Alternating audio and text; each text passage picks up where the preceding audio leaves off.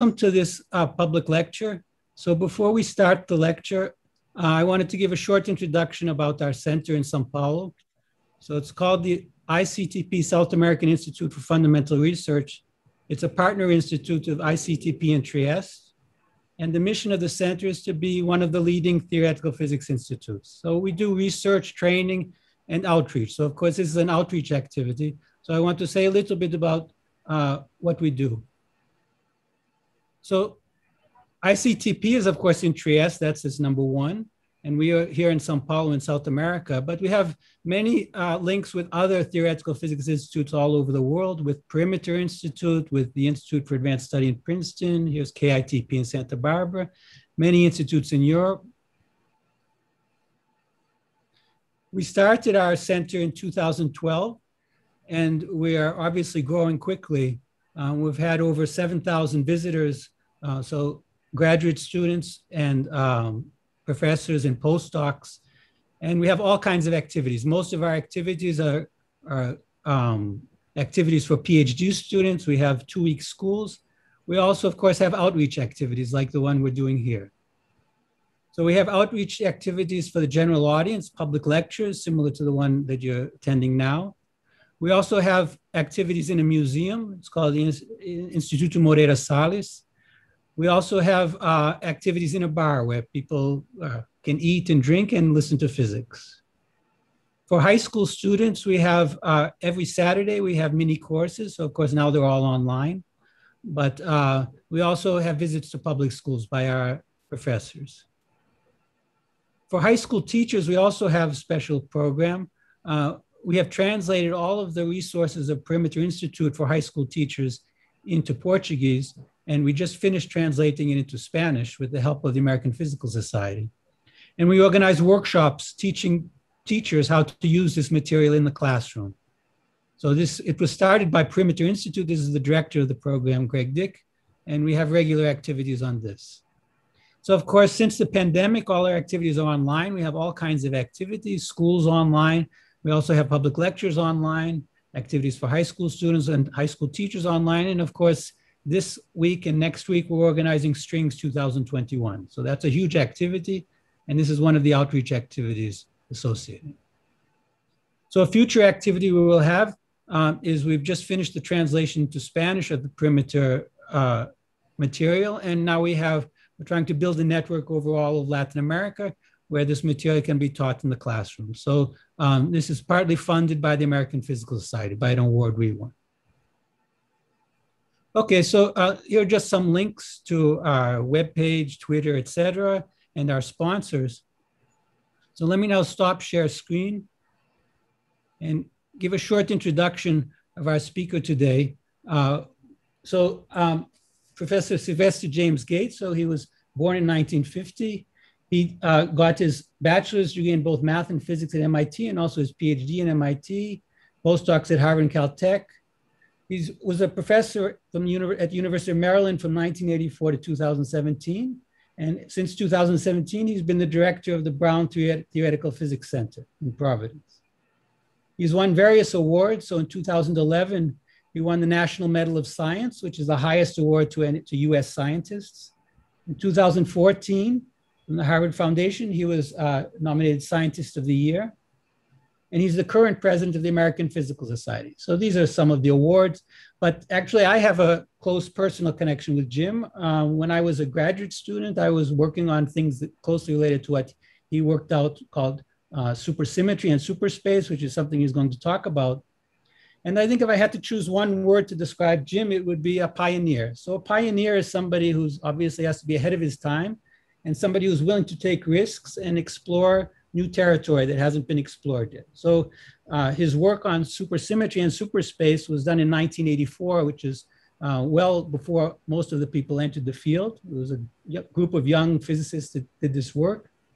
And soon after that, I, when I was a graduate student, I met him as a graduate student. He, I actually visited him in his house. I don't remember if he remembers. And actually, some of his later work, I'm still trying to understand and to work on. He has a really nice paper on something called ectoplasm that has become um, a part of my work.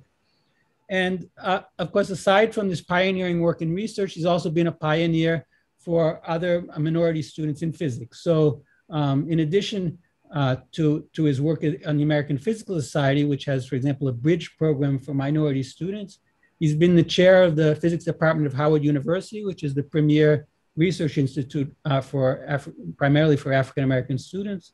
He was the past president of the National Society of Black Physicists. And uh, so, so he's really a pioneer. And also in 2013, he was the first African American theoretical physicist to be elected to the National Academy of Sciences. So obviously, he's a pioneer in that aspect also. So before uh, we start the lecture, let me just remind you that tomorrow we also have an activity at the same time called Ask the String Theorist, which is going to be moderated by Nobel Prize winner David Gross and is going to involve questions sent by YouTube chat to all the speakers of our strings meeting. Okay, so today, just to remind you, uh, uh, Professor Gates is going to give a lecture, six, approximately 60 minutes, and then we're going to have 30 minutes of questions, which you can send by chat. So you can send them either by in, in English or Portuguese.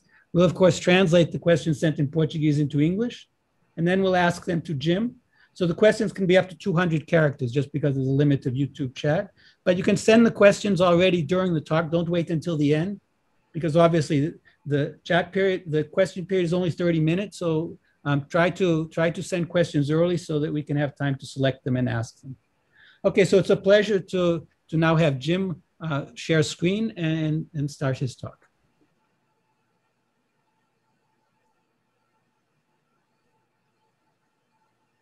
Well, first of all, Nathan, thank you for that kind of introduction.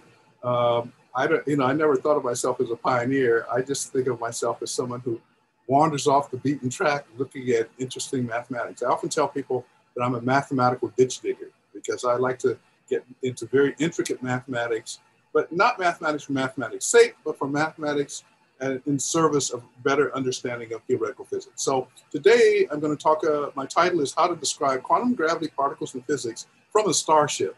So uh, let me just uh, start with a farcical story. Uh, imagine that there was uh, the world's greatest physicist who shall remain unknown for this audience, but many people know who I'm talking about. And that person was working on M theory and made a mistake. And there might have been some aliens, you know, the government just released a report on UFOs uh, the last couple of days here in the US. And suppose these aliens were actually in a starship traveling by watching this mistake. They might want to be helpful and correct the error, but in order to do that, they have to be able to speak, uh, communicate with our earthbound physicists, and in particular, knowledge of both quantum theory as well as general relativity are required. And so that's the question that I'm actually after today. And I hope by the end of this talk to have uh, some insight to my audience about uh, the relevance of that story to the actual work of our talk. So let me begin with some quotes. Uh, the, I tell people all the time, Albert Einstein is my hero, Maximus. Uh, so one of his quotes is, imagination is more important than knowledge. For knowledge is limited to all we now know and understand, while imagination embraces the entire world and all there will be to know and understand. That's a very important fact about the way theoretical physics works. Alan Turing commented about imagination in a different way. Sometimes it is the people no one can imagine anything of who do the things no one can imagine. And then finally, Paul Dirac, not commenting about uh, imagination, but I also a quote I, that I hold very dear. Living is worthwhile if one can contribute in some small way to the endless uh, challenge of progress. So we're going to start with uh, Einstein, Einstein's equations and visualization. However, I am very mindful that my audience is not just physicists. So in fact, what we're going to do is to heavily, uh, heavily use in our presentation the ideas behind the equations, the visualization behind the equations. And that's why visualization is so important to us.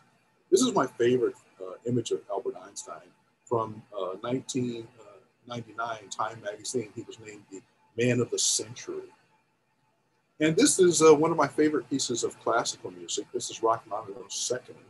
And I tell people who are not physicists, I bet you are not frightened when you see something like that.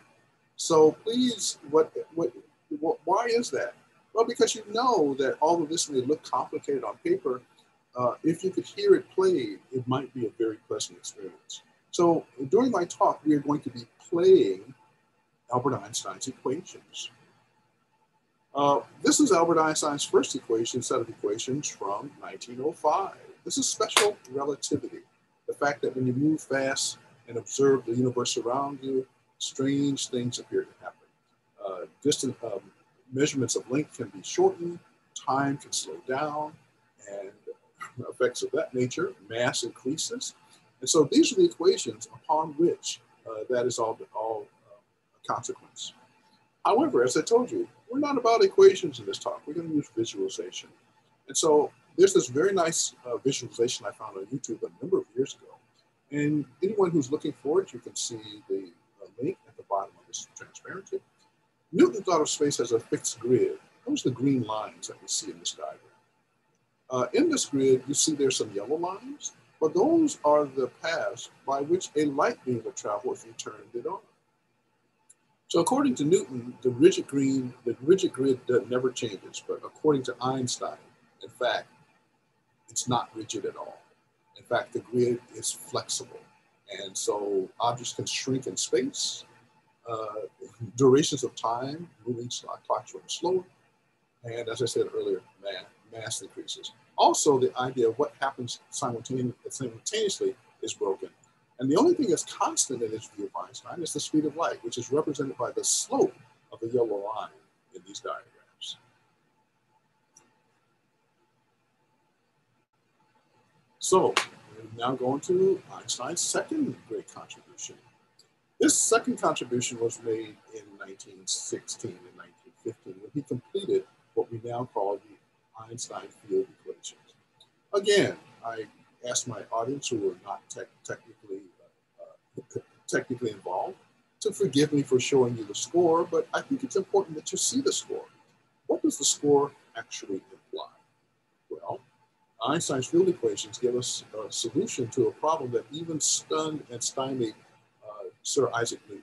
Namely, it explains how gravity works. Basically, it says that space and time are like a fabric, and in fact, when you have a massive object like the sun, it creates a dent in that fabric. Or the earth creates a smaller dent. And these dents are what, uh, are what we, we associate with gravity. Uh, a few years ago, in fact, two years ago, I, I completed a book about uh, Einstein uh, together with a co-author, Cathie Pelletier. And I, I wanted to uh, use this uh, occasion to speak a little bit about this book because it explains how Einstein's work came to the entire world.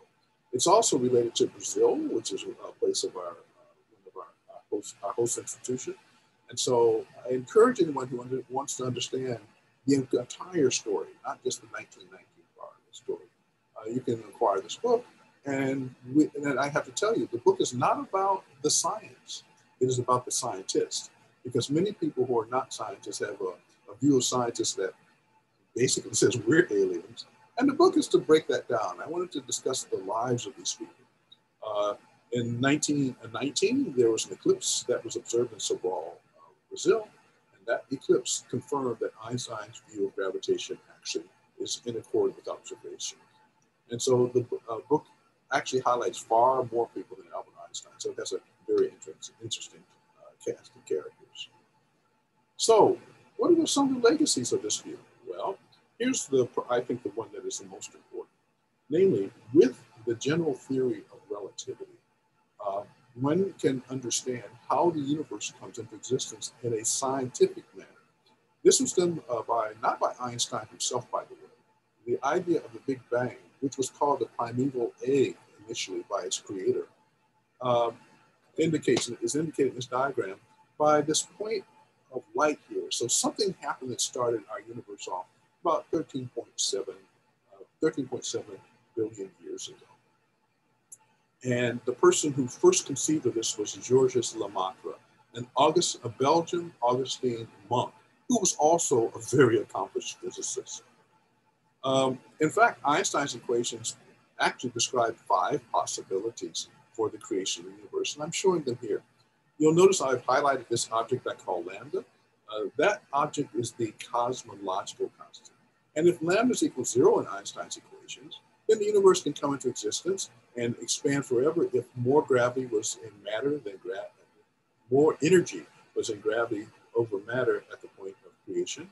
But if more energy was in gravity than matter when the Big Bang happened, the universe would eventually collapse.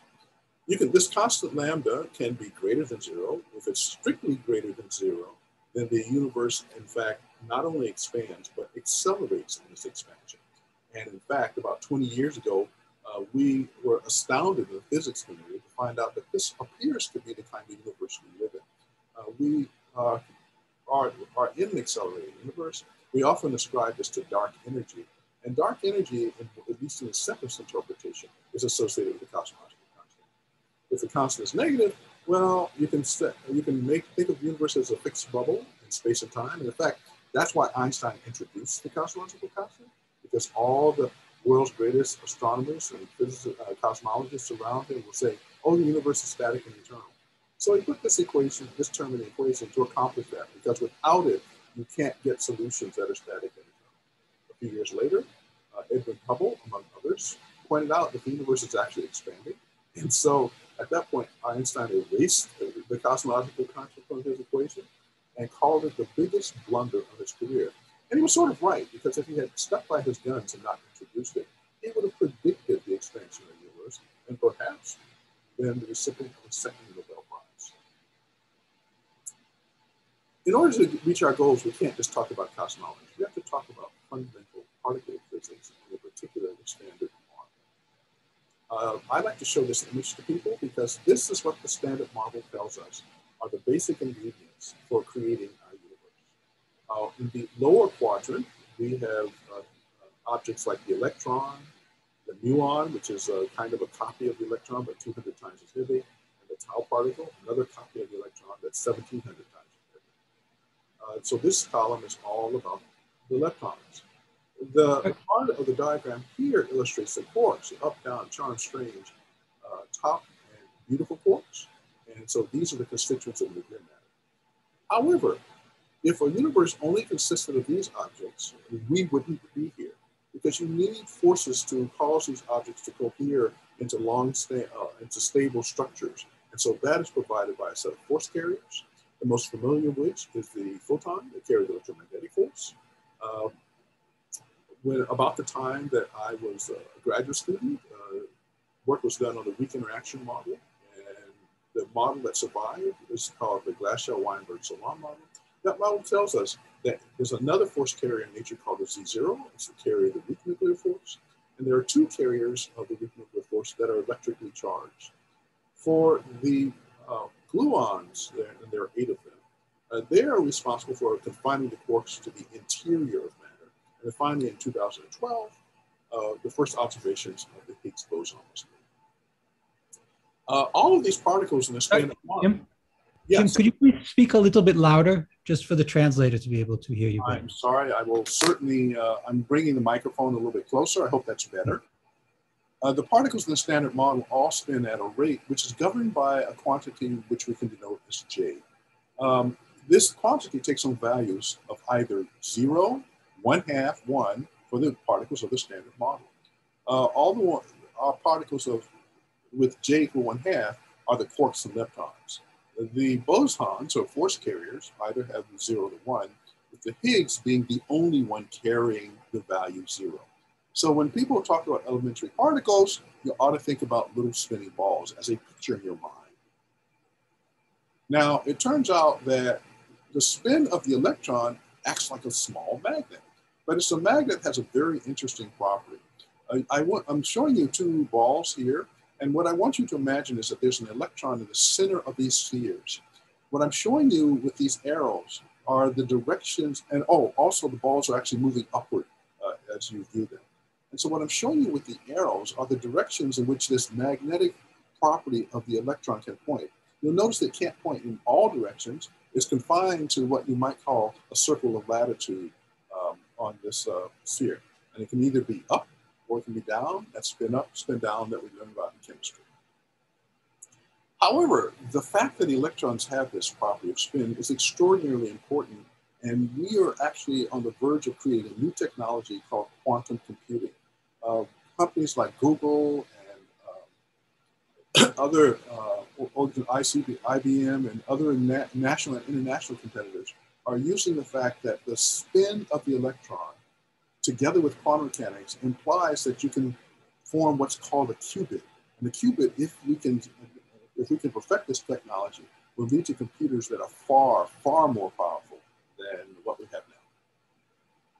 How moving particles of the standard model wiggle. I bet you didn't know that they wiggle, so let me try to take you through that story. Uh, here's how the how the Higgs boson wiggles. Namely, in this picture, you, I want you to imagine there's a Higgs boson that is moving left and right. And you'll notice that what I've actually got here is a slinky, an illustration again that I took from the uh, YouTube. And you'll see that as it's moving, you get these, this clumping section of the slinky. Well, it turns out that if you write the equations for this clumping, it is in fact this uh, very close kin to the equation for the Higgs boson. So that's how the Higgs boson wiggles when it moves. The photon, on the other hand, wiggles in an entirely different way. Uh, here's another uh, computer uh, graphic illustration. Uh, here we have a wave that to the back of these plates is going up and down. We call that linear polarization. But this is a quarter wave plate, and so we can use the plate to break out two pieces of the wiggling of the photon. Namely, that we can have what's called left-handed or right-handed polarization. Now let the cartoon run one more time so you can compare the difference between these two things. You'll notice that the photon winds around, if you think of it as a clock face, uh, winds around uh, counterclockwise and clockwise with these two. However, uh, Maxwell and Faraday thought about photons in a rather interesting way, and I have an illustration I'd like to show you about that. Uh, Faraday, in particular, I made, is uh, reported to have made the quote that light is nothing but a hopscotch game between electric and magnetic fields. So what was he referring to? Well, here's a computer uh, animation for this concept. You'll see that there are two kinds of figures. There are what you might call stars, and there are rings. Well, these represent the electric and magnetic field. The uh, electrical field are the stars because the electrical field actually acts radially from uh, um, radially outward uh, from a line of charge. On the other hand, a magnetic field is actually wrapped around a moving line of charge. And so those are the circles. And so indeed, photons. Sir. I'm sorry. Uh, I'm sorry to interrupt, but can you speak just a, a hair louder? This is a translator speaking. It's okay. a little tough. Me, okay? okay, sorry about that. Let me try to keep my voice up. Yes, please uh, do. Thank you. Okay, so as I was saying, Faraday had this idea about the hopscotch game with the stars here representing the electrical field and the circles representing the magnetic fields. Gravitons wave, wiggle. So if you had a graviton wave, and in fact we're able to measure them because of the LIGO experiment, a linearly polarized graviton wave does the following. You see there's a red circle in this diagram? Imagine that's the tunnel and there's a graviton wave coming at you from the rear of the tunnel towards you. As you can see, it deforms the tunnel, and it's these deformations that LIGO actually measure to, to detect them. But this is linear polarization. What about helicity uh, states? Here, we're looking at what happens to the walls of this circular tunnel as a positive helicity graviton comes from the back of the tunnel to the front of us. As you can see, the, the deformation is much more complicated but you can also see that it has a winding sense. That green line tells you it's winding around. The, there's another state of polarization, just like with the photon. And so here we see the opposite, the negative helicity graviton. Okay, so this is what I mean by wiggling, namely that if you look at a proper, any particle of the standard model, oh, and I should probably tell you about a particle that doesn't belong to the standard model. Namely, we talked about the electron, but mathematically, we know how to describe particles that have the parameter j equal to 3 halves. And once again, I ask you to imagine that at the center, very center of these spheres, there's such a particle. And then we're asking the question, uh, if there's an analog of the magnetic property, what directions can it point in? And the answer is there are four latitudes that it can move and point towards as the, uh, as the uh, 3 halves particle moves vertically in each of these diagrams.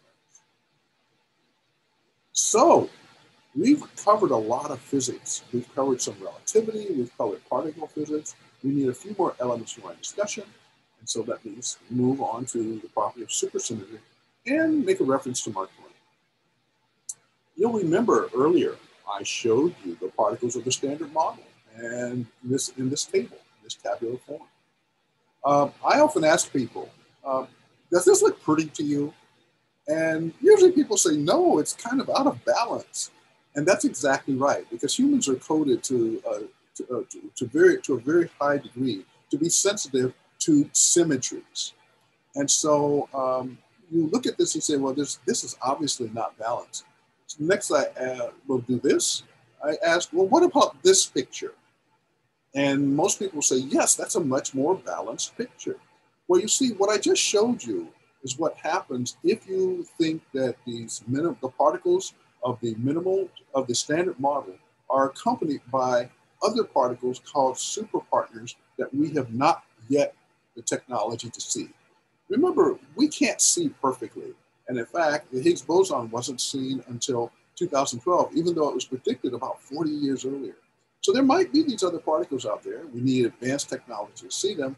And if this particular pattern occurs, it tells us that for every particle of matter, so here's an uh, electron, there is a, a particle that there's a particle that is very similar to the electron called the selectron. For the photon, which is a particle that carries the electromagnetic energy, there is a particle over here called the selectron, which also is a carrier of electromagnetic energy, but this has J equal to one, where this has J equal to half. These all have J equal to half. Everything over here has J equals zero. So you see, as you move across the vertical red lines, you change the value of J by a half. So this is the minimal supersymmetric model. People often ask me, why, why do theoretical physicists still talk about this? Isn't it dead yet? So I'd like to point out to people that no, it's not. Uh, the reason that uh, the press and many people who discuss these matters think it's dead is because before the LHC was uh, active, uh, there were lots and lots of predictions that you would be able to see these extra particles that I showed you on my table. Not all of us believe that. And in fact, in 2006, I actually explicitly said in an article called Is String Theory Phenomenologically Viable? that even if nature was kind enough to provide a light superpartner, it might take as long as a century to pass before it was directly observed. Now, this was not, this was a very much a minority view, but it happened to turn out to be right. Uh, uh, more recently, I've said that supersymmetry, I strongly believe, will in the end be figuratively like Mark Twain, who is often misquoted as having said, The reports of my death have been greatly exaggerated. And that's the reason why supersymmetry is still a viable option to study for theoretical physicists. Because what has happened is that we've simply discarded a class of models. But supersymmetry is not a model, it's a, it's a platform for constructing models. What about Sir Isaac Newton versus Albert Einstein? Well, not Albert Einstein, but Albert Einstein's bête noire. So many people know that Albert Einstein was never, never satisfied with the concept of quantum theory. And yet, he made an important contribution that got the ball rolling. So, one way to think about the difference between classical and quantum theory is that in a classical theory, if you have a particle moving along and nothing affects it, it travels in a nice straight line at a constant speed. So, that's what we call the classical path. On the other hand, if you're thinking about something quantum mechanically, going from one point to another, the same uh, beginning point and endpoints along the classical path, the particle can travel in all kinds of strange ways. And I've only illustrated one here. And so quantum mechanics says the universe is complicated and that you can't actually know what the particle is doing unless you are observing it. So here's the classical path, nice and simple, Newton's second law.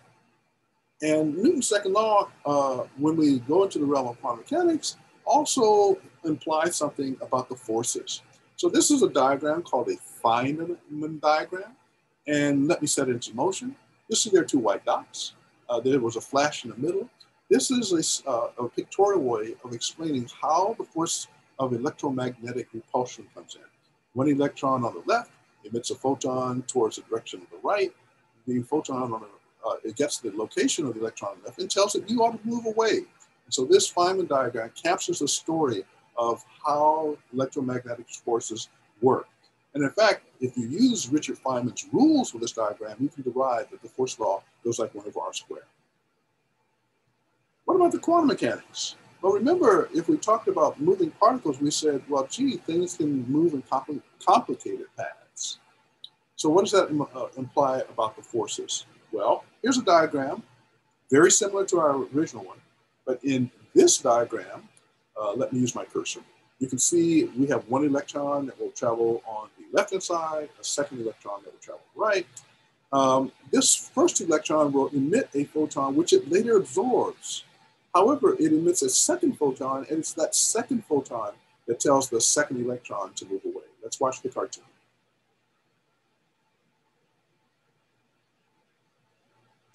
So if you actually take Mr. Feynman's rules and calculate the mathematics associated with this force of repulsion, you will find it is not strictly the one over r squared law that you're taught in high school. It's actually more complicated. Well, it doesn't stop with just this one diagram. There's another diagram. What happens here? Well, our first electron emits a photon at this point. That photon travels through space and time and then disassociates itself into an electron and the, uh, the electron's antiparticle, the positron. Since these two have uh, opposite charges, they attract each other, and they get back together, destroying each other, creating a second photon, and then it's this second photon that actually tells the second electron uh, to move away. The first process I showed you was, is called a vertex correction. This process is called vacuum polarization. And we have measurements that prove these things actually apply to our world. In fact, the most precise measurement of anything in science is about measuring these Feynman diagrams. I told you the electron had a magnetic like bar-like property. Uh, its strength is measured in something called G or G value. So about a decade ago, we could measure G, and it is this upper number, uh, from these Feynman di diagrams. And it's not just two, you have to take hundreds of them to make these calculations with precision. Uh, we found this number, and if you'll notice, the only difference between these two numbers is in the last two digits. And so that it, to that precision, we could say the universe is quantum mechanical. However, today, the measured value has gone well beyond that. And so what I like to tell people is that quantum mechanics, we physicists have observations that supportively to better than one part in a billion that our universe is governed by the laws of quantum theory, not by the classical laws of Newton. And so this is why we are completely comfortable until nature tells us something different. And in fact, this has been in the news recently. Uh, there, the muon also has a G minus two value, which has been measured. And there's some evidence that maybe some new particles are out there. Are they the super partners? We don't know. But there's as, as long as we continue to accumulate this evidence, this will allow us a, a doorway to look. I'm next going to follow two giants of physics, Paul Dirac and Richard Feynman. Uh, and we're going to do this uh, because we're interested in a quantum theory of gravity. In some sense, this is a holy grail for our field. A lot of work in string theory pushed us along this direction.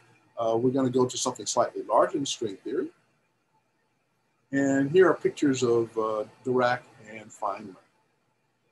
Dirac uh, also commented that if you're humble and receptive, mathematics will lead you by the hand.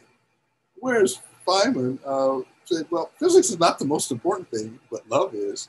And I had the great pleasure of being a, a postdoc in Richard Feynman's research group from 1980 to 1982. So I actually uh, met Mr., uh, Dr. Feynman, and I have Feynman stories I've never written.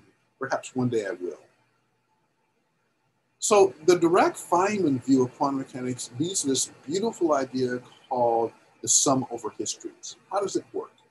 Well, here I have a starting point and an ending point, and classically we know that a particle would just go in a straight line between the two.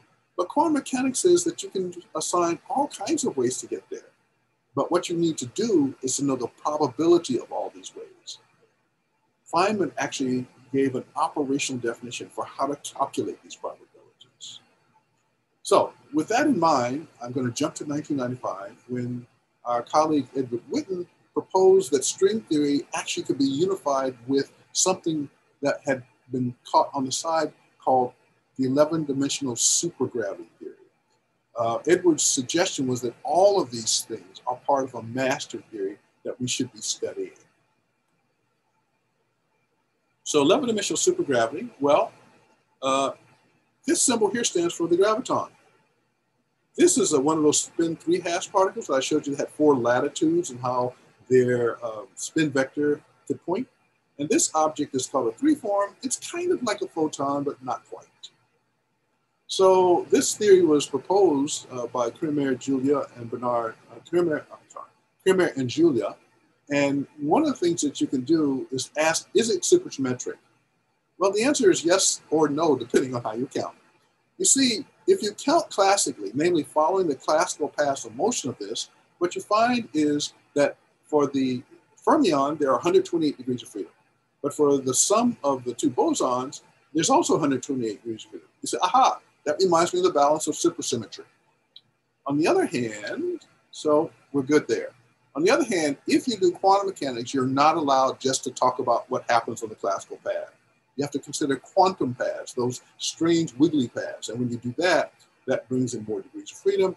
And consequently, the degrees of freedom are not balanced. And so you don't actually have supersymmetry if you're in a fully quantum regime. Uh, we're going to use a trick because I remember I keep trying to avoid mathematics.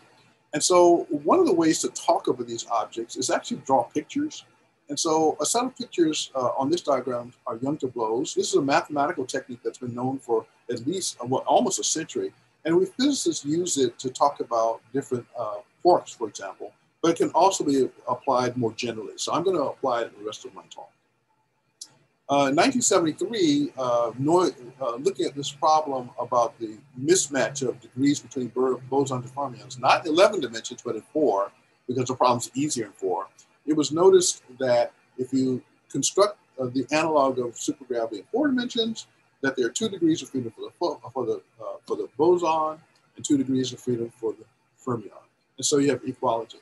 But if you do quantum mechanical counting, there's actually 12 here six over here, they're not equal, so you have the same problem. So uh, the theory of supergravity itself, which uh, was really first initially talked about uh, without thinking about the quantum mechanical weirdness, uh, in 76, uh, two groups of, uh, of researchers actually proposed this theory. in 1977, Bright, a physicist named Peter Breitenlohner solved the problem about having this equal numbers, right, the left-right symmetry of my table apply to the supergravity theory.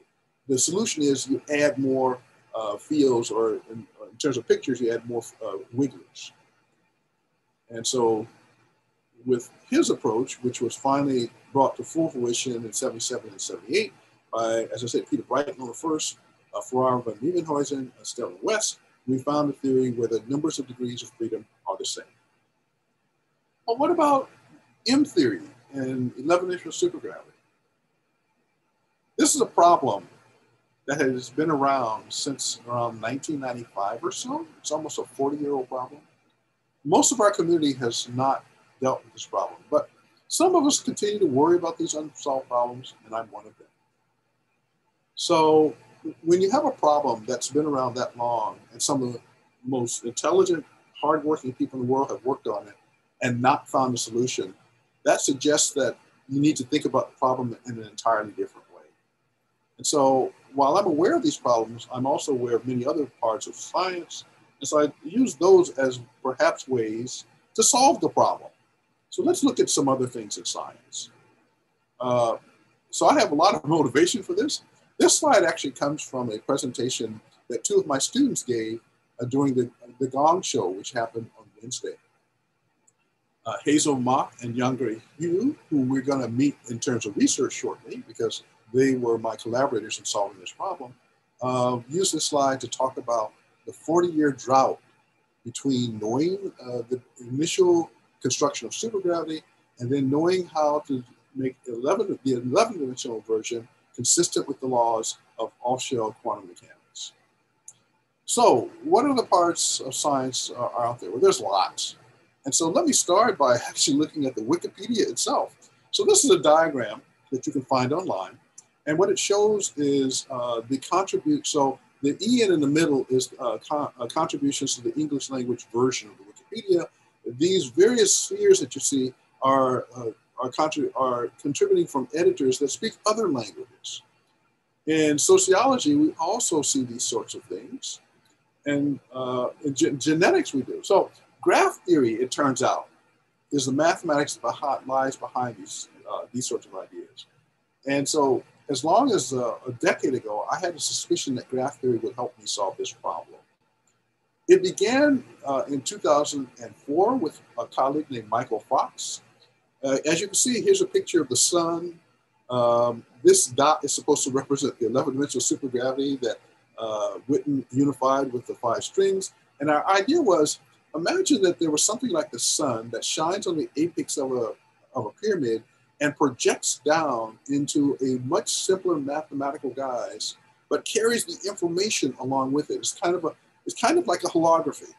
And so in 2004, we proposed that this idea must work. And the way to implement it is to use an idea that comes from Albert Einstein.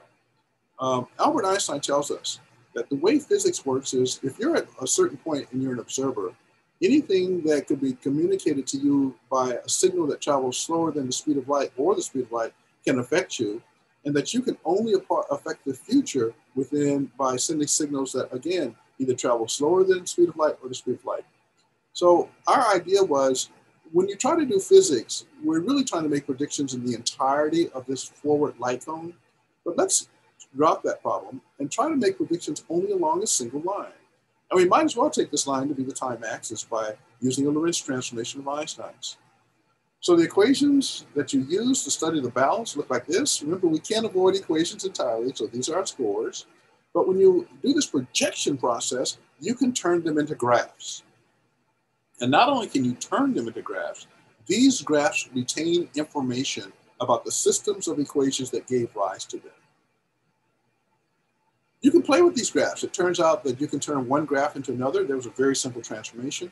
And that transformation, interestingly enough, is the relationship between the two sets of equations I showed you a couple of transparencies back. These graphs come in different varieties, as you might imagine, because they're different sets of particles. And so here's a more complicated graph that we found is associated with, the, uh, with what's called the prepotential of electromagnetism. These graphs can be folded, and they fold because they have bits inside of them, computer bits, ones and zeros. This was a shocking result that a group of my collaborators and I found. And uh, what was interesting is it took us three years to publish this, I think partly because it was so weird. But these bits that are inside of these graphs actually control how you fold them down.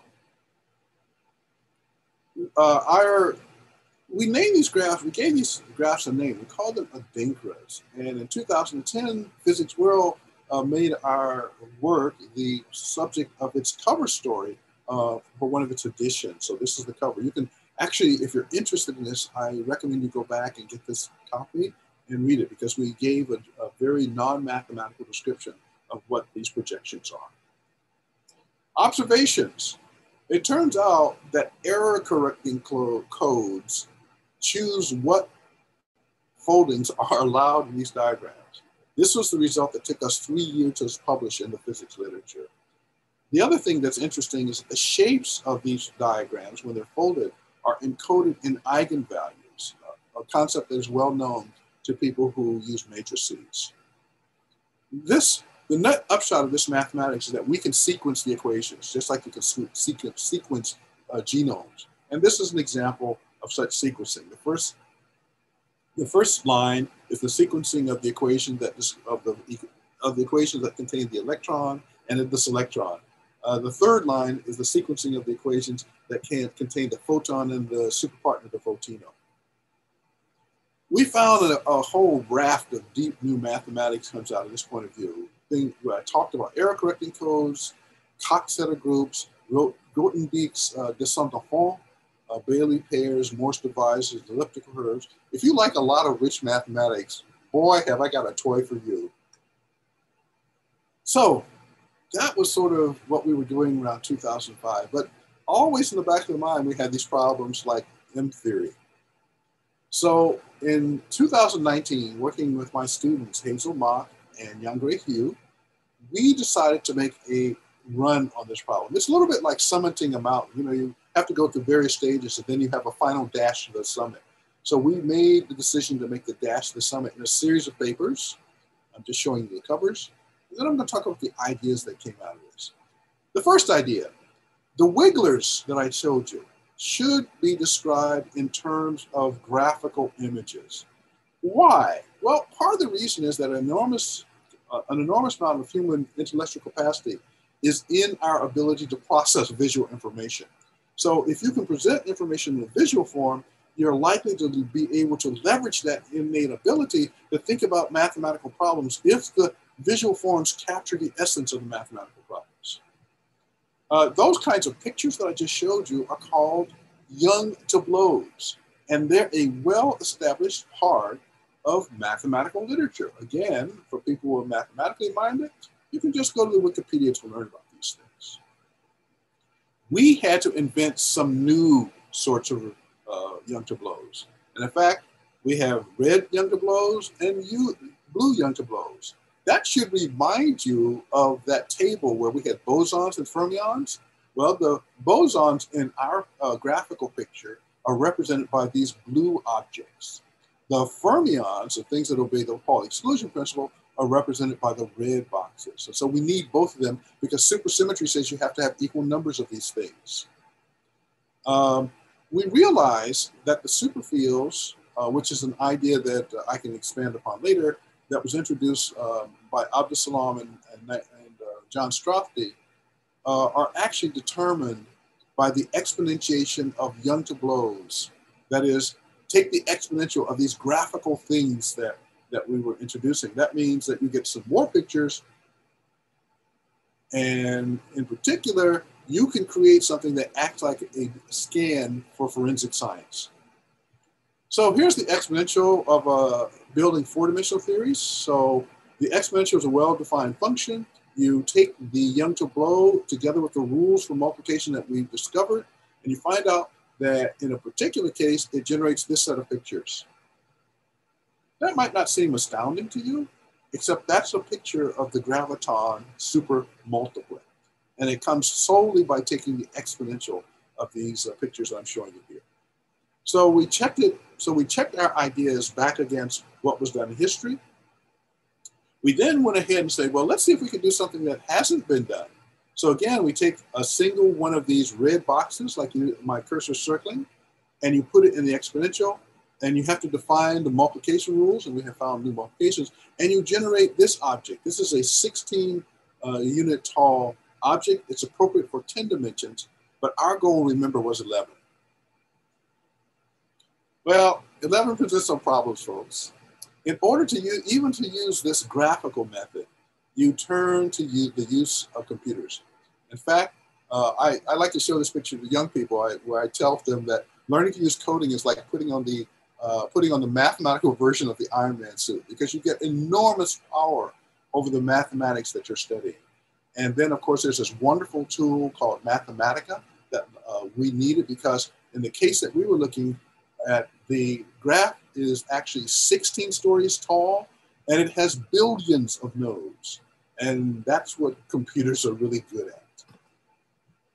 So we had to design algorithms that would capture the graph theory and the network structure. Uh, these structures included the boxes, which are technically known as Dynkin, uh, equivalent to Dynkin labels. There's a mathematical process called plethysm that, or rather plethysm, that you have to build into the algorithms. Fortunately, some people who study, uh, actually study the physics at the LHC had already developed this kind of mathematics. So we were able to simply borrow, reach out and in a collaborative fashion, borrow it. And then finally you need computational power. Remember I told you that the 11 dimensional problem was huge? It has 2 billion, 147 million, 483,648 bosons and 2 billion, 147 million, 483,648 fermions. And so the question is, what kinds of wigglers are these? Are they all wigglers like the Higgs boson? Are there some wigglers like the graviton? Are there wigglers like photons? This is the problem no one had known a solution to in the 40 year span that this question's been out there. Here's a picture of the diagram of the object that we were able to construct by the same means that we checked against four dimensional supergravity. We checked it in 10 dimensions by showing you that 16 uh, component image. And here we checked it on the full 32 dimension, uh, 32 height object. What we found was kind of interesting. Namely that there are, uh, there are uh, 1,198 bosonic fields. That is fields like the Higgs particle, fields like the photon, fields uh, like the graviton. And there are 1,186 fermions. And the gravitino is only one of these fields. So for the first time, we can state the Lorentz representations that are consistent with general relativity on one hand, and with the fact that you have to have quantum mechanics saying all, uh, saying that you have to allow for all possibilities, not just counting on the classical equation motion. And then SUSY says, aha, the numbers of degrees of wiggling freedom must be the same, but how it gets distributed among the wigglers is different. And that's what we, the problem we explicitly uncovered. You know, we can't actually draw these pictures, folks. You know, trying to draw, imagine a diagram that has over 2 billion dots and, and many more lines between them uh, is not a doable task, but it is by a computer. So our code grabs completely the graphical technology that we've developed for this subject. And this is how it looks when you start classifying it.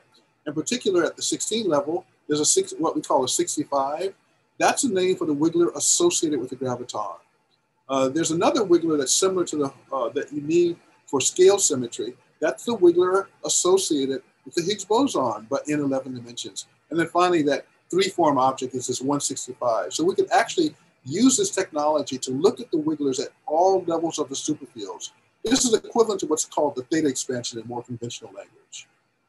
Uh, at level uh, 17, there's the 320. And I remind you the 320 was the spin three halves object of M period. So we have this technology that lets us look inside of superfields without using theta expansions and is built by exponentiation of Young tableaus. So we've got a lot of unknown result, uh, previously unknown results here. We've classified the wigglers according to the representation of Lorentz theory. Uh, we can see that the graviton and gravitino are at adjacent levels in our diagram, and they have to be for supersymmetry. And it's possible that we will find smaller systems, but the only way that we will do that is by following the path that Peter Brighton uh, trailblazed in the, in the uh, late 70s, which is the next important step. The challenge, we have to use these uh, graph, these Adinkra graph networks to find the structure of the supergravity gauge group for 11 dimensions. And we think we know how to do that, but it's going to be obviously some more calculations. Um, one of the interesting uh, problems that I'm working on with some of my collaborators right now is remember I told you that uh, in 2005, 2006, we found that error correcting codes are necessarily part of the graphs that we use. Well, nowadays, of course, many people are talking about quantum error correcting codes. And so the question is, will supersymmetry actually give us a way to construct previously unknown quantum error correcting codes, or will they be uh, just in the class of error correcting codes that have already been found? So this is ongoing research that we're engaged in right now. And I and my mathematical and physics colleagues are very excited, and we're actively looking at this along with uh, one of my graduate students. I'd like to thank some people and organizations. First of all, I'd like to thank the great courses. Many of the graphical images that I have used for this talk are found in a presentation that I created for them in 2006. It's called Superstring Theory, the DNA of Reality. The graphical images were actually created by Mr. Kenneth Griggs.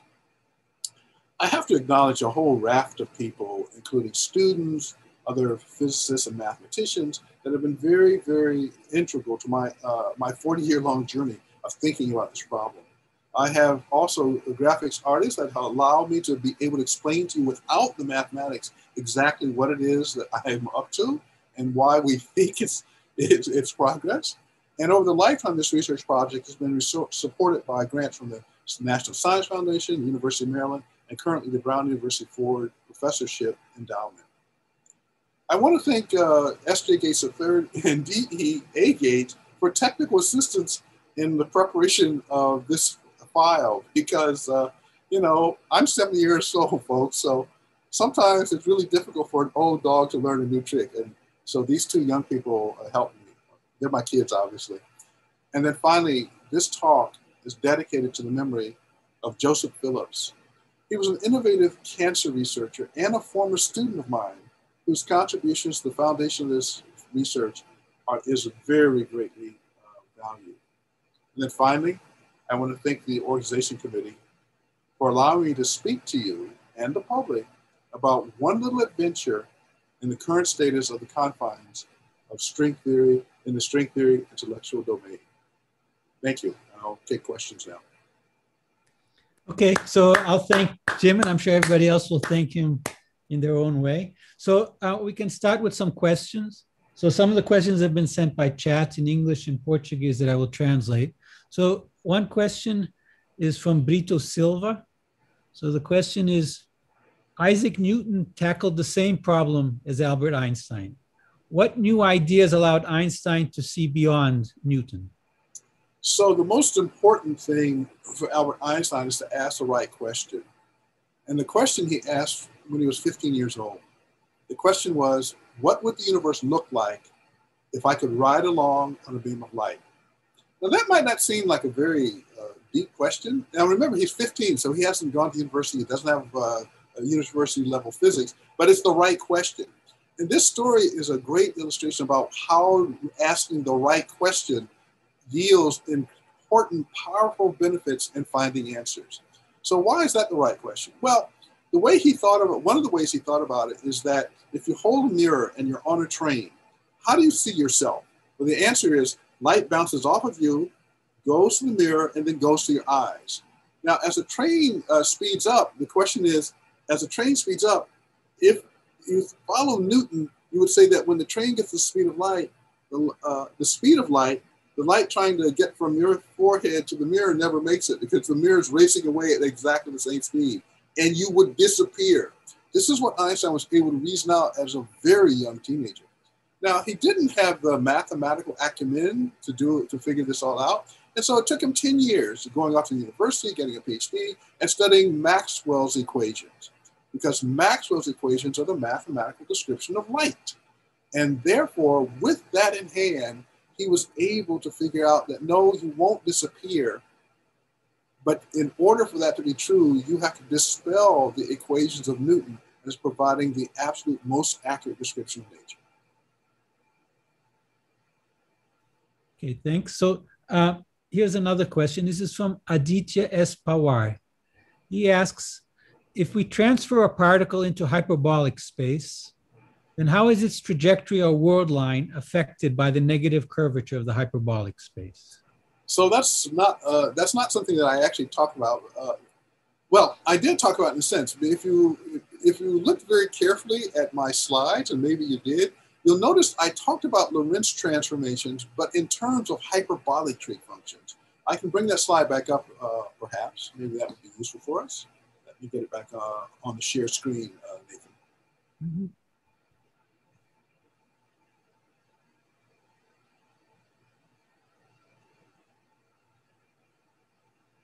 My computer's a little bit slow. You have to forgive it. It's an old machine.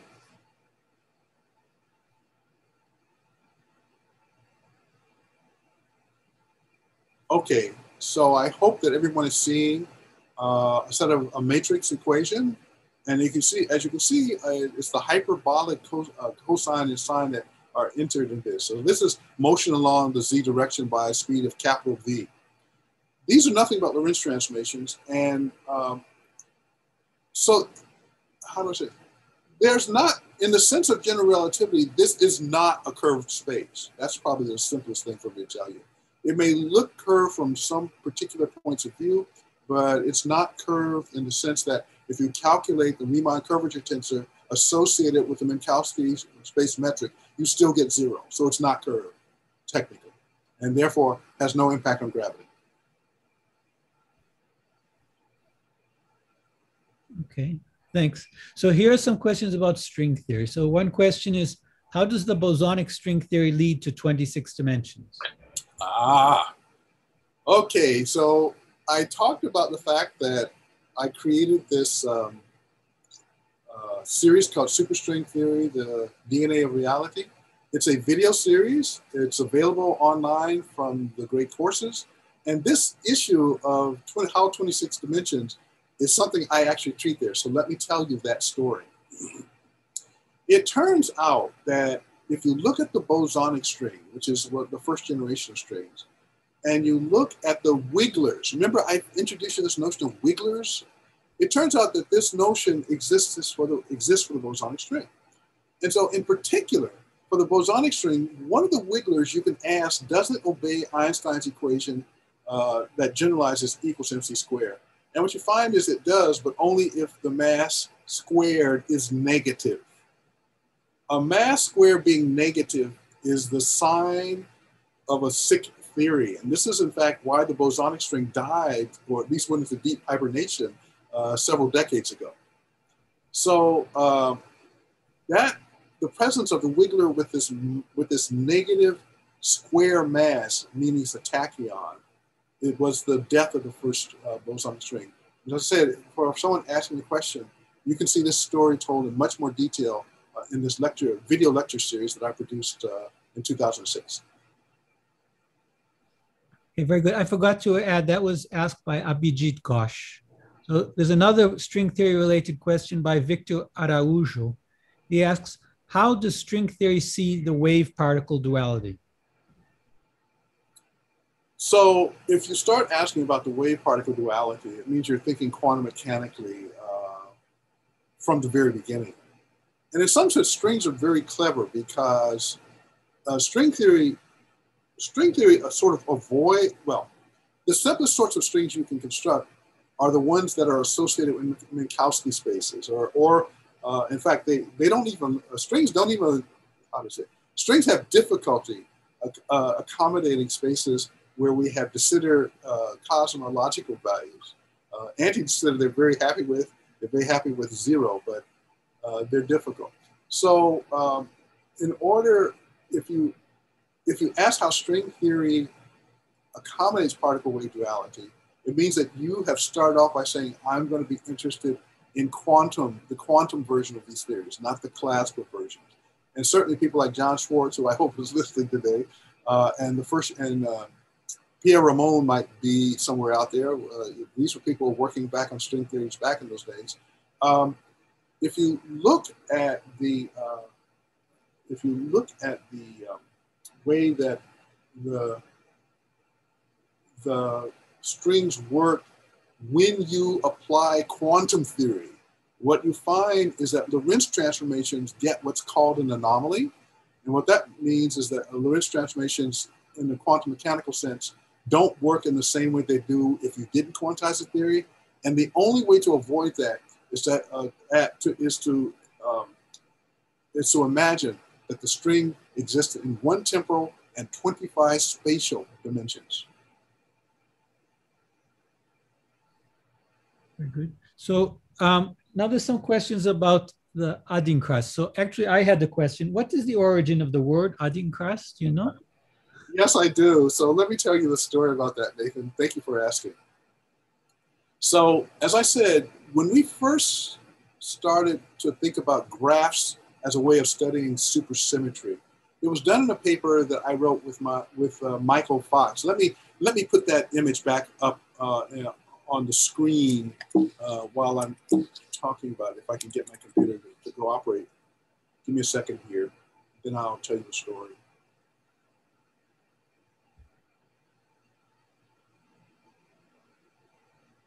Can I share still, screen still, uh, Nathan? Yes, yes, you should be able to. Thank you. Okay, I hope everyone can see that pyramid picture that I used.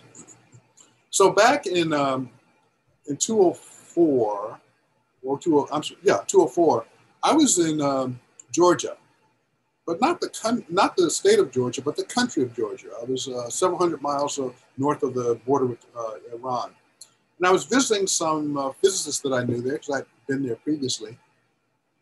And my habit, uh, to, to this very day, is the first thing I do in the morning is look at is look at the arXiv. And so I logged on, I looked at the arXiv, and there was this paper by Michael Faux and one of his collaborators, and it was about quantum mechanics and supersymmetry. And in the paper, they had some things that looked a lot like a set of matrices that I had been studying with uh, one of my graduate students. Her name is Lubna Rana, who I also hope is actually out there listening. But Lubna and I had noticed that in, quant- in supersymmetric quantum uh, mechanical theories, there's this very peculiar set of matrices that keep recurring over and over in different guises. And so we got very suspicious about these matrices. And Michael's results reminded me of these matrices. So I sent an email message to Michael. Uh, as I said, I was in uh, I was in um, Georgia when I sent my first message. He was actually in the Czech Republic. Uh, we started sending questions back and forth, and then after six weeks of question and answer, we had a research paper which explained why these strange matrices uh, that I had found are related to graphs. In fact, what they are in graph theory, if you know what a, an adjacency graph uh, is, these matrices are, are modified adjacency graphs. So by the time we finished this paper, I was actually in West Africa in the country of Mali. And we had this paper and we can we thought that this might be something very interesting, these graphs as a way of studying supersymmetry, and that they might provide ways to obtain knowledge about supersymmetry that we couldn't obtain easily by other methods. So we finished the paper and we said, you know, we ought to name these things. And so we went through a, a various sort of names. And then Michael, who had stepped on the African continent, uh, by the way, he was a European American, he's not African American. Uh, but Michael, who had been, was much more familiar with uh, uh West African uh, artifacts and artwork than I was, came up with the idea that we ought to call these graphs adinkras. So the word adinkra is actually, I tell people we, we acted like typical colonialists. We simply took the word. Uh, adinkras are actually a kind of Um, symbolic, in fact, that cover I showed you, let me see if I can find that cover.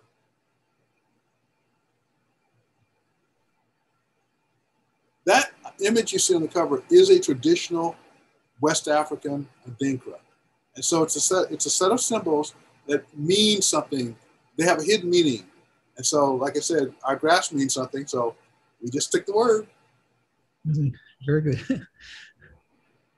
There's another question related to uh, adinkras. He says, some binary net. So this is from Alexander Caceres. He says, some binary networks are possible can be described by random matrix models. Will it be possible to describe the Adinkras networks by some random matrix model? You know, that's a, I, look, I have to tell you, I have no idea. That's a great question. We, those of us who are, who know about these things have never tried that.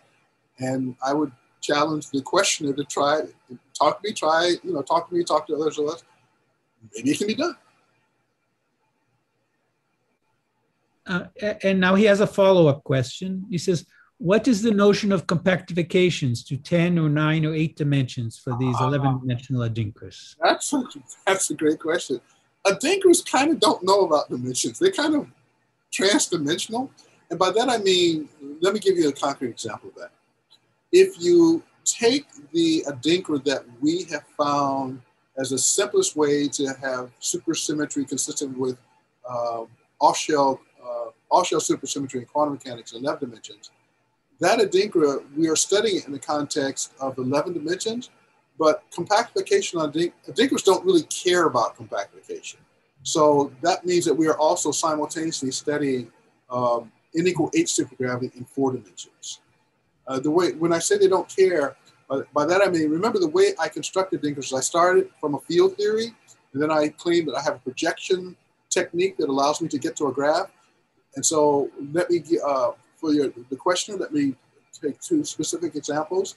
If I take a what's called a vector multiplet in six dimensions, that's something that's well known in supersymmetry. I can apply my projection technique to it and find its graphical representation.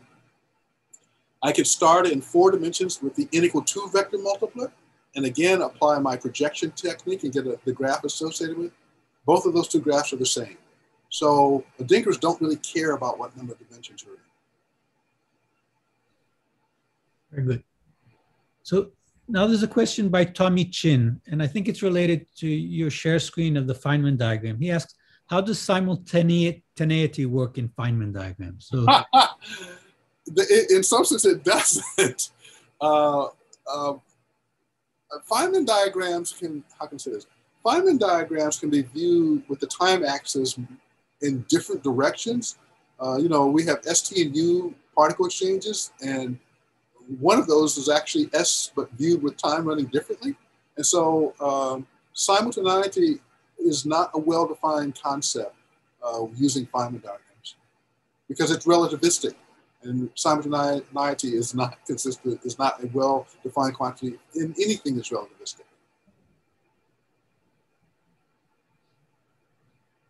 Okay, I have another question, which is a question about speaking to the let to general public. So fermions, um, I guess, distinguish from bosons in that they anti-commute. Have you tried to explain this concept to the general public? Do you have a good way of doing this? Uh, I've made it. I don't know who's asking the question. I've made this attempt, and um, again, in this uh, video lecture series that I presented in 205, Superstring Theory, the DNA of Reality, my best attempt is in there. So uh, I'd have to, I actually don't remember exactly what I did, but it was important that I do so because I wanted to have my uh, viewership understand the difference between uh, bosons and fermions and then use that to describe, uh, I'm sorry, use the geometrical idea of anti-commuting numbers to say, well, aha, these are functions anti-commuting functions as opposed to ordinary functions. So I don't know if my attempt was good enough or not, but I'm happy to talk to anybody who will look at it and we can see what, what you come up with. Okay. So there's another question about general public by Brito Silva. He says, how can we bring the general public closer to complex subjects such as quantum mechanics and other scientific topics? And he says, what do you think explains the current gap between science and society? it's actually a very interesting question. I was sort of thinking about that earlier this morning because um, if you look at what science did in the 19th century, it fully made itself its impact on countries and cultures around the world. Uh, the scientific advances, creating new products, creating uh, better standards of uh, health, were enormous uh, in the 19th century if you look at from the beginning to the end.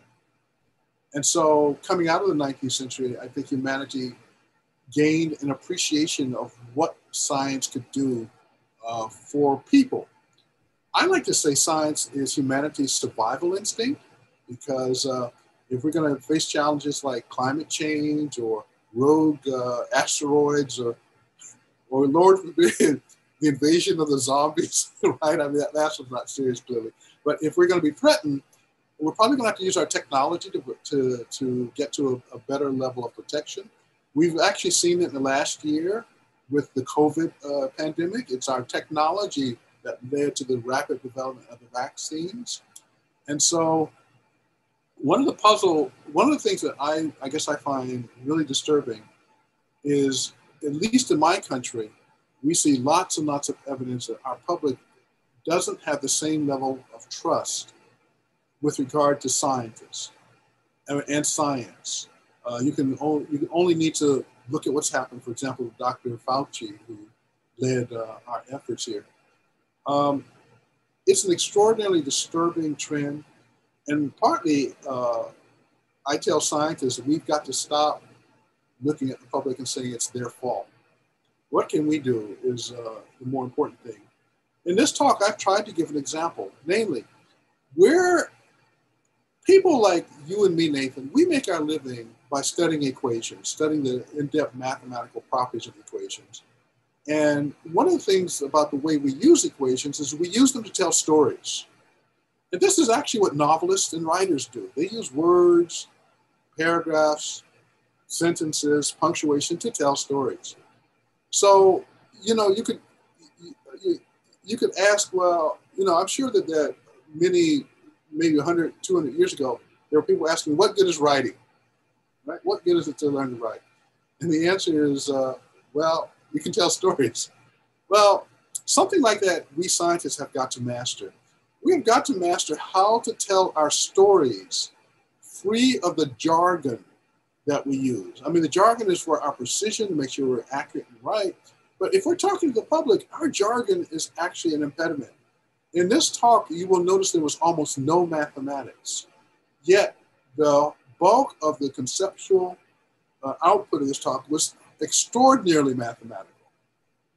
This is an example, I think, of something that we as scientists must master. And this is, by the way, one of the things that in the APS, you mentioned uh, at the introduction, I'm the president of the APS. This is one thing we're talking about with colleagues about how can we do this more effectively? How, what is it that we need to do differently in order to allow the public to have a closer uh, set of uh, understandings about what we do and hopefully a better, uh, a better uh, level of confidence? Um, so this is just my question. I mean, do you think there's a correlation between growth of social media and this gap between science and society, or is it completely independent? No, no, they're intimately related because the gap is not just between science and society. It's really a gap around the value and existence of expertise. And that's what the social media is actually broken down for many, many of our fellow citizens. Um, the way that I like to think about it is um, the public. Well, let me put it this way: uh, if you watch an athlete like, say, Simone Biles, almost no one in the public will say, "Oh, I can do what she can do," because no one can actually do it, right? I mean, there are very few athletes who can do what she can do.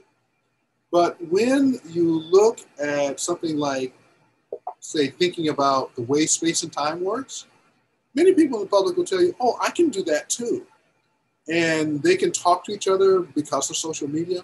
They can build up uh, masses of, of uh, collections of people who agree with one view or another. And then, as a person who's not scientifically literate, you look at what the scientists say, well, that's a mass of people saying one thing. And then you look at this mass of other people, and they're saying something different. And if you're not scientifically literate, how do you choose? So yeah, social media is an enormous driver in the, in the diminishing regard that expertise writ large has. And scientific expertise is only part of that. Mm-hmm. So there's a related question by Ivson Braga. So he's asking if it's even possible for the general public, for the lay population to understand scientific language. I mean, is it something should, should so let me so let me use another story. Uh, there was once two store owners, and they had stores uh, side by side. And one of them uh, noticed that his competitor had all the customers uh, going to his store and few going uh, to the other store, but not to his. Does he blame the customers? And so the reason I tell that story is I challenge the scientific community to stop blaming the public for the lack of our effectiveness in, in communication. That's actually our problem. And we need to deal with it. We need to apply the same level of commitment, tenacity, intelligence that we apply to the doing of our science to this issue of being effective communications. And you know, the question was even phrased in a way that I find uh, is probably off-putting: the scientific language. But what we need is an effective language. Okay. Let me ask a different kind of question, which again is from me. So APS has these minority programs. Um, and there are, of course, similar problems in other countries. Brazil has a similar problem. Have any of these been successfully used in other cultures that you know of? Are you aware of, of any other societies using APS methods?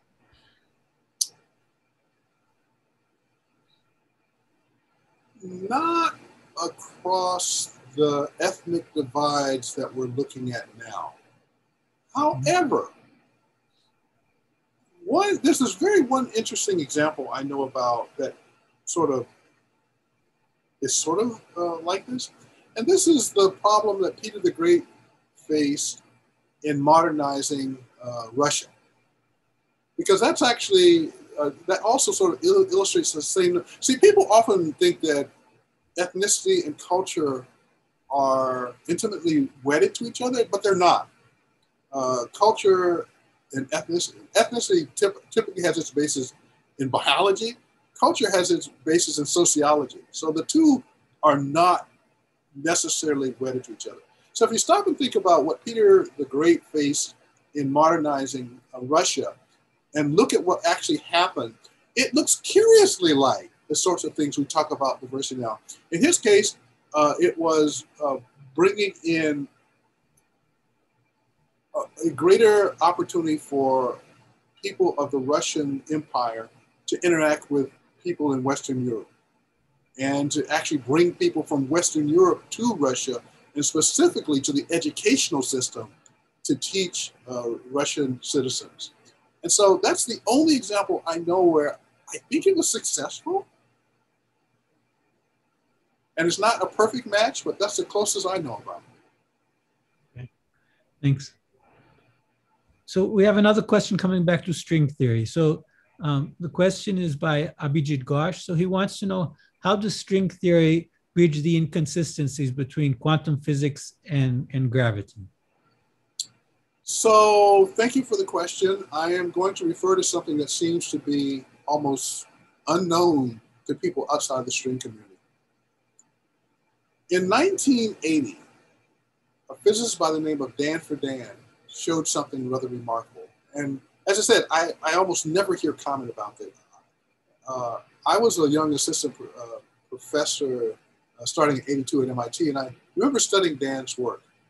And what Dan showed was that if Einstein had never lived, but that if we had been able to develop quantum mechanics, someone would have derived the Einstein equations of motion. And so this is done in the context of what are called nonlinear sigma models. And in particular, there's something called the beta function that you calculate in that context. And you don't have to know anything about general relativity to derive Einstein's field equations if you know how to do relativistic quantum field theory. That shows sort of the power of quantum theory by itself, that it can actually reach out.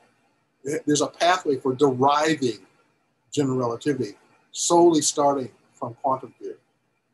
So, how does it bridge it? Well, this thing that I described, this work by Dan Friedan, is actually a string theory.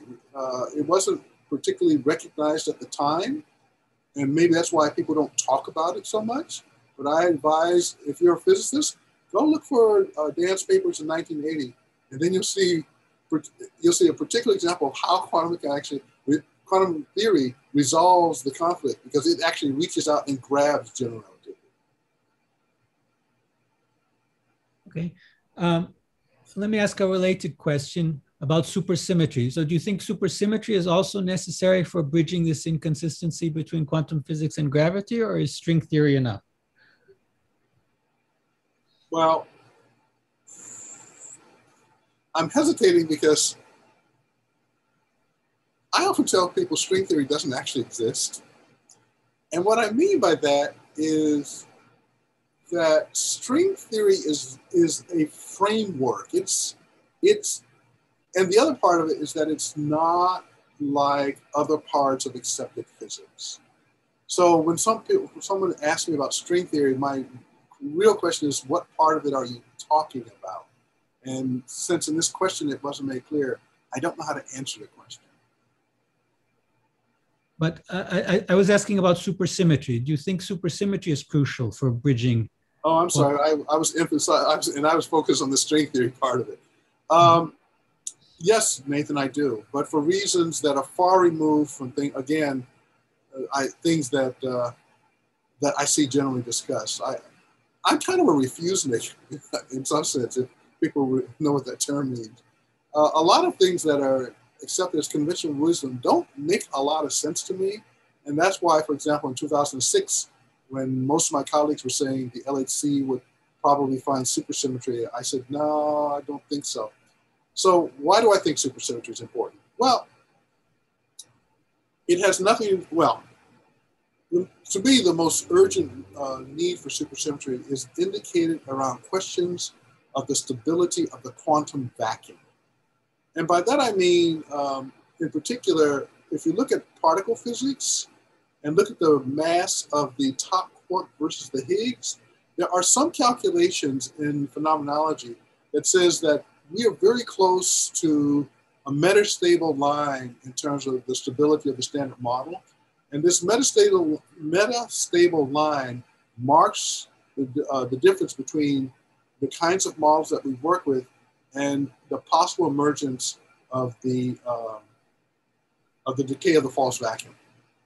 And so if we're so close to that line, you would probably want some kind of mechanism in your field theory that would suppress probabilities of tunneling into the fall, into the true vacuum. And supersymmetry is the only thing I know about that seems to have that property. That's why I think it's important. Very good. Okay, so we're running out of time now. So um, what I want to do is, I, of course, uh, want to invite you all to to come tomorrow. So we have a, an, a similar outreach activity tomorrow at the same time, 2 p.m. in Brazil, uh, with David Gross as the moderator. We have a panel of four journalists, including our own uh, Jandira Oliveira. And uh, we, we also, of course, are going to ask questions to the speakers from the strings meeting. So we invite you all to participate either again in English or Portuguese on the two YouTube channels. So they're all advertised on our webpage. So I want to thank, of course, uh, Ana Luisa and Malena, who have been helping us with the, with the translations. And I want to give, of course, a great thank you to, to Jim Gates for, for being uh, able to give this, this wonderful uh, public lecture. So thanks very much, and I hope to see you all tomorrow at a similar time. Bye-bye.